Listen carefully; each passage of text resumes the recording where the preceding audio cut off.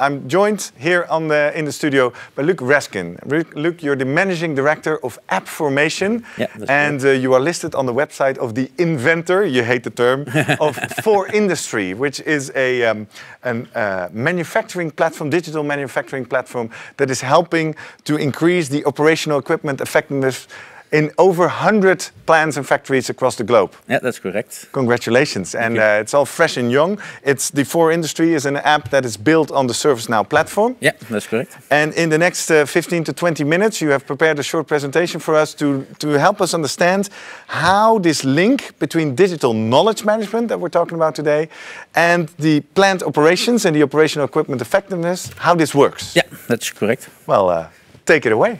So uh, again, uh, indeed, my name is Luc Raskin. Uh, today I will quickly talk about um, three topics. Uh, what is digital knowledge management? Um, so you have knowledge management, everybody already does it uh, usually. Um, but now what can digital tools like the 4Industry product on Now platform uh, help you in that sense? Um, also another topic which is uh, important is in this new normal, how can digital knowledge management help in the new circumstances? And last but not least is uh, what kind of benchmark details do we have uh, seeing this product in over 100 factories and, and also seeing what knowledge management really does uh, on the shop floor. Um. We'll follow. You keep clicking, and we'll okay. follow you uh, okay, uh, with the playback cool. function. um, so we, we see a couple of uh, manufacturing challenges. Uh, first off is the uh, scattered knowledge. Um, and knowledge is in people's minds. It's not direct. Uh, everybody has that knowledge. We are, what Eric Elis also said. Um, people are switching, working from home. You you're not able to fly your SMEs over, all, all over the world.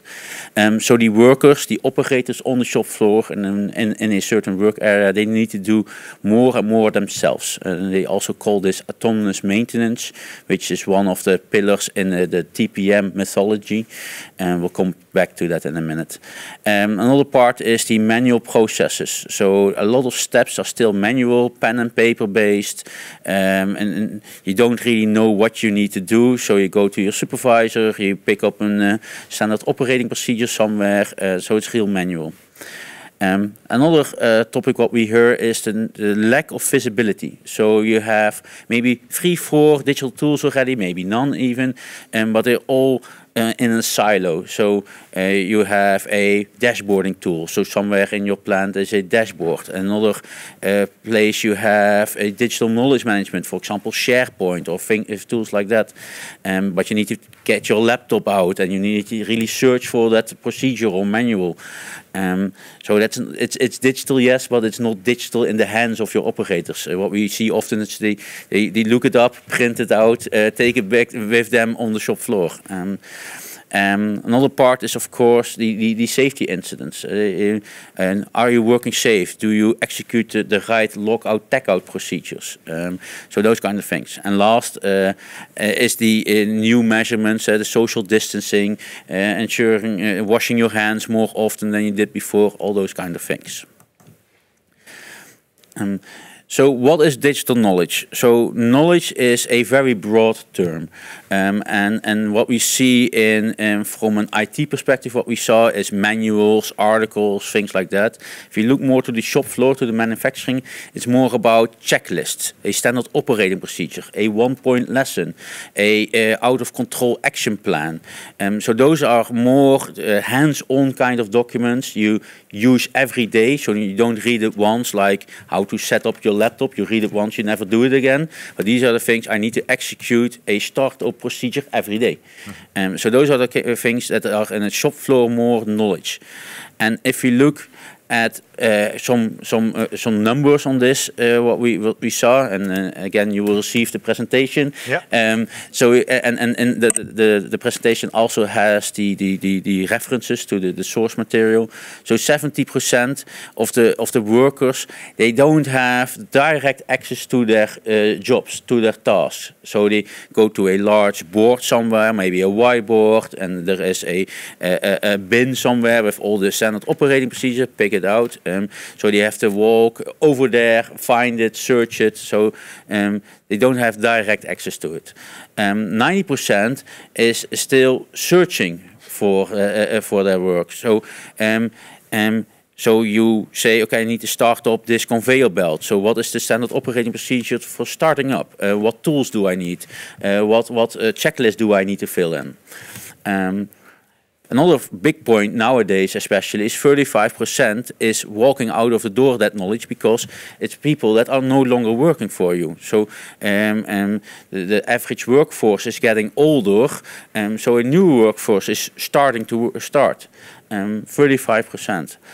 And what we also see is because a lot of things are pen and paper, you might have read it like four months ago, a year ago, still think you need to execute step one, two, three. But actually nowadays we, we added a step five to ensure that uh, we, we don't occur the same issues. So uh, the continuous improvement cycle, people don't read it. So I will not go into much detail of this picture, but what, what, what I'm trying to show here is that a digital platform is, is not only a knowledge solution. It needs to be integrated with your task management. So you have, for example, abnormality. You see a conveyor belt uh, vibrating, the bottles are falling off, um, you want to register that, and then your knowledge management system should automatically, using machine learning, for example, uh, say, oh, a plant in uh, Macedonia also had that problem. And this is the solution because they documented that solution. One of the parts of uh, deviation management or tag management, as it's also called, uh, is that you document your solutions, maybe even do a root cause analysis. So you document it and using a, the, the translation engine, it will translate that local language to, for example, English and uh, suggested as a solution. So you don't have to search for the solution. It can suggest a standard operating procedure or a lesson learned. Um, it's all in the same system. So for us, a, building a manufacturing platform is not building a, a, point solution, knowledge management, a task management, maybe even dashboard for some IoT data or a maintenance system. It's an integrated platform of platforms to run all the workflows that are happening on the shop floor. But for today, I'll focus on knowledge management. Okay. Um, so if you look at the three pillars of knowledge management, there are three important pillars. This is a, a research done uh, by McKinsey, and McKinsey said, okay, focus on these three pillars on the shop floor. First, first off, how do we develop new knowledge? Uh, so how do we develop, uh, for example, one-point lessons? I learned something and needs to be known to the rest of my team, maybe even to all the other plants in the in, in the world that I, run. Um, and also how to update. Knowledge is not something that is important once. Uh, uh, it, it, needs to continuously improve, maybe fine tune some settings during startup, so it gets a faster startup time, uh, increasing the OEE, or making sure it doesn't fall, fails later on. Um, so that's uh, one point. The, the, second point is where to store this knowledge. Eh? So there are many solutions out there, uh, hundreds, uh, and it can be on paper, it can be digital, but even digital has, again, hundred solutions. So what we also see is uh, how to store knowledge, it not only uh, text. If you put text, uh, for example, a PDF in a on a phone, it's still not very searchable. You don't. It's not actionable. So the checklist, you still need to copy the checklist on pen and paper and fill it in. So uh, digital knowledge needs to be interactive. And, and that this is for us a very important point and also a lesson learned. Uh, make it interactive. Another point is uh, if we look at the learning pyramid, the learning pyramid is something from uh, the educa education sector, is that by doing and by, for example, video, it's much more that you uh, uh keep that knowledge to you instead of that you will read it once and then you most likely remember about 10% of it and the rest you forget. So Make it interactive, you're doing something with it. Make other use of other media, it's digital, so we have that ability. Interactive photos, interactive video, maybe work together on the same article using chat, uh, and those kinds of options, so that, that's important. And last uh, but not least, Oh, now it's working. Uh, there was a animation in here, so sorry about that one. And last but not least is about how to consume uh, the, the, the knowledge. And that's why I'm actually focusing on for the rest of the presentation to keep it short. Mm -hmm. um, I'm going to focus how to consume knowledge on the shop floor. Exactly. So one of the most important points is how to find. Eh? If you want to consume knowledge, you want to find it. So uh, the, the, the, product has QR code scanning, NFC, iBeacons, all those kinds of new technologies. As soon as you walk up to your machine, if you have iBeacons installed, it will say these are the knowledge articles and these are the manuals, these are the policies, operating procedures. This is everything we have on this machine and how to run it. But you can also do QR code scanning, NFC scanning. So you have all kinds of ways to really find that knowledge. Eh? So if you remember, 19% was searching knowledge. This will really reduce it to even 1 or 2% because you, you only have this small list of maybe 5 to 10 documents that you need to use to operate that machine. Um, but it's not only making knowledge as a reading again, it needs to be interactive. So you assign that knowledge. For example, you see start a procedure for a oven uh, system that makes a cookie. Um, you will see that that start procedure you assign it to me uh, myself if I am working there or to my colleague assign it and then it becomes interactive it's a really a a step-by-step approach with photos as evidence so you really need to know what to do and you also have input. So you can even put in, okay, I put it on 220, but the system says 190. That may be a deviation from normal operating procedure. So the system can learn that, oh, this, this procedure is not good because we're trying to set it on 220, but it's actually going to 190. So it's really interactive. Um, Another important part is working together. Uh, uh, if you look again at the learning pyramid, if you work together, if you discuss something you learned, and that's also the important part of the interactive session of today, is if you talk about it, you will learn much more than you just listening.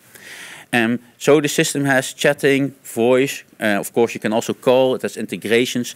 The Now platform has integration with Teams, uh, Slack, uh, Zoom. So it's all integrated as a one solution, again, as a platform of platform.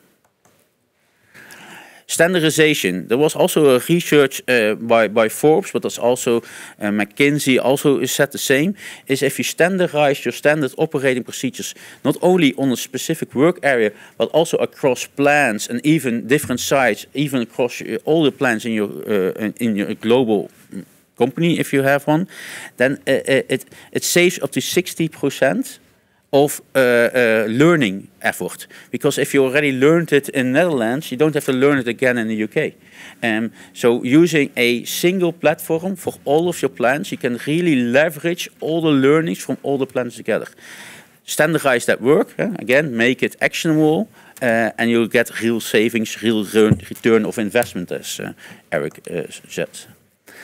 Now, by doing all these steps, and we're making sure that it's standardized, we're making sure that everybody has access to that knowledge, uh, so it really minimizes downtime. So not only planned downtime because you plan to do maintenance, for example, you do it quicker, but also because uh, you, uh, when there is a problem, unplanned downtime, and you work more closely. You get the suggestions using machine learning. These were the lessons learned. These were the these are the starter procedures. So uh, you also reduce that one. If you look at uh, the new normal, what we also see is that the system, uh, you get a task assigned and you need to execute, for example, uh, you need to wash your hands, you need to get a face mask because you're entering an area where multiple people are.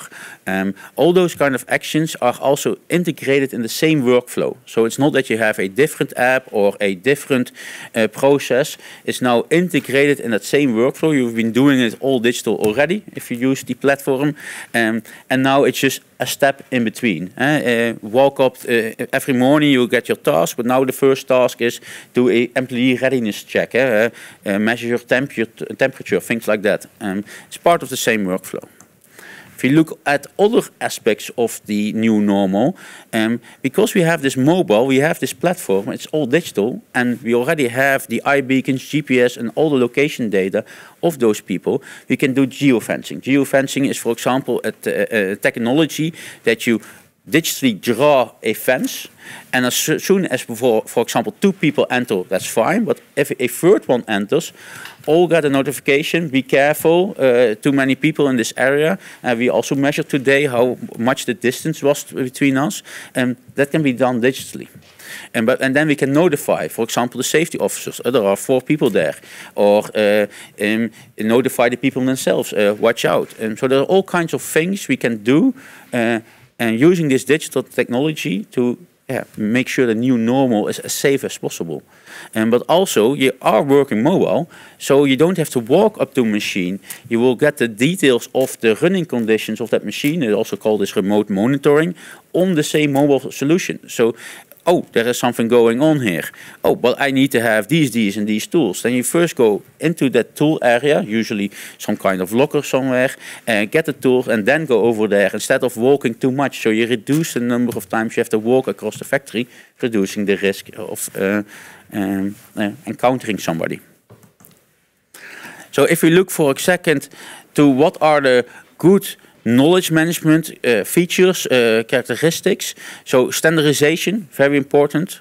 Collaborative, working together on this document, giving feedback. If the one point lesson that somebody four years ago thought was very good, but in this new age is a bit old school, give feedback on it. So work together on these documents. It needs to be dynamic, so it needs to be interactive. You need to work together, but also it needs not to be only a document, but an you have to work with it. Um, needs to be available, huh? offline, online, huh? not only available. You don't have Wi-Fi everywhere in a factory. Usually, some factories do to have that. Needs to be intelligent, huh? machine learning, propose solutions, propose uh, uh, translations. Uh, uh, what we see is that in factories where we speak English a lot, at least we do it at our company, it's that the local language is normal over there.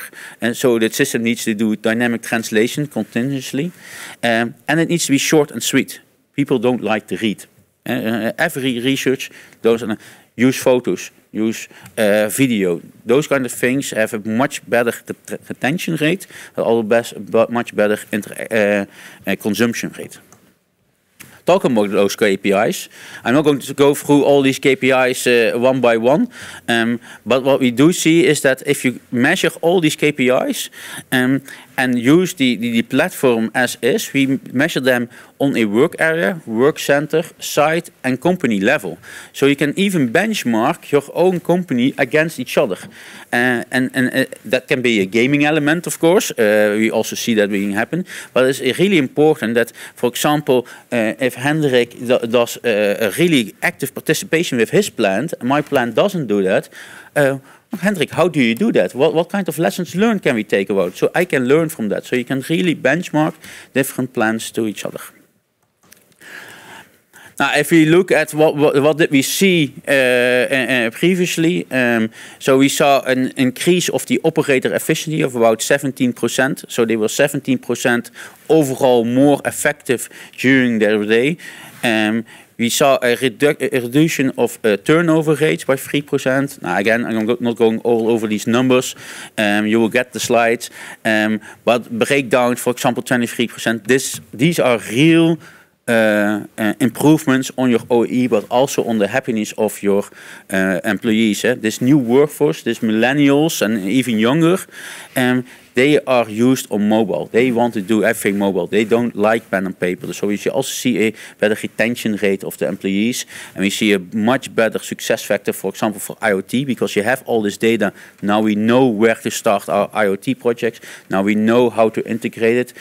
we don't have a dashboard somewhere. Oh, sorry. we don't have a dashboard somewhere um, uh, that, that only does uh, uh, showing a graph this is my machine running condition. Now the system says, oh, this is what you need to change, and this is the manual to do it. Eh? Integrated knowledge management. So some key takeaways, and that's my last slide. Really use knowledge management integrated with your task management to boost worker and plant productivity.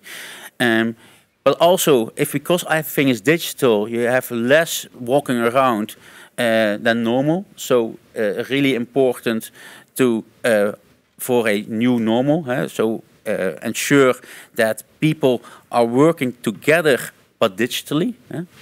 Um, and last, uh, really focus on these three stages. I, I, only zoomed in on one today, um, but reach out if you're interested in the other two. Um, but really developing, storing in different formats, and last but not least is the consumption and also the update. And one last takeaway is uh, putting a knowledge document once in a system and never updating it or never pushing it to, to your workers is not really helpful. Then you have the old pen and paper, but then digital, and that's not what you want. Really leverage the digital technology around this. All right. Well, thank you very much, uh, Luc Raskin. Thank of you course. for enlightening us a bit.